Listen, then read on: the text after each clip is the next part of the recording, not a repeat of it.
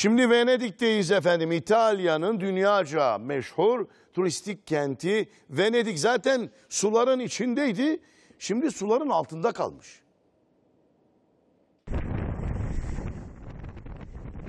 İtalya'nın kanallarıyla ünlü kenti Venedik su altında kaldı. Şehri son 53 yılın en büyük gelgiti vurdu. Su seviyesi 187 santimetreye kadar çıktı. Şehrin tarihi meydanları suya gömüldü. Venedik genelinde alarm durumuna geçildi.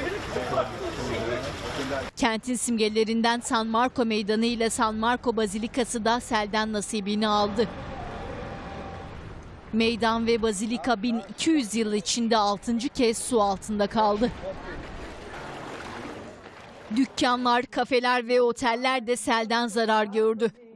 Turistler güvenli platformlara alındı. Ayrıca ambulans görevi görmesi için lastik botlar devreye sokuldu. Venedik'te rekor olarak kaydedilen en yüksek gelgit 1966 yılındaydı. O dönemde su yüksekliği 194 santimetreye ulaşmıştı.